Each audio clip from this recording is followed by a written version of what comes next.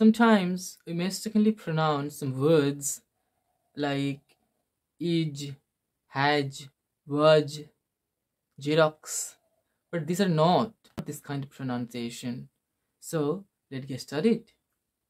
Ij, but not, don't say ij. Is, okay, is, is. So next, waj. Don't say waj, was, was. Again, was. Next, haj. Don't say haj, has.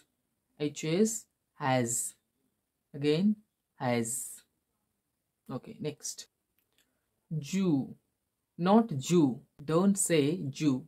Zoo, zoo, zoo. So native speakers pronounce Jew, but not it is Jew. Zoo. It is zoo. Zoo. Okay, next.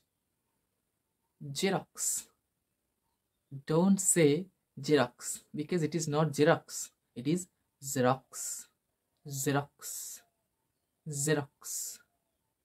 Okay, so if you would not say Xerox, so you can say copy. Copy. Okay, so thanks for watching this video.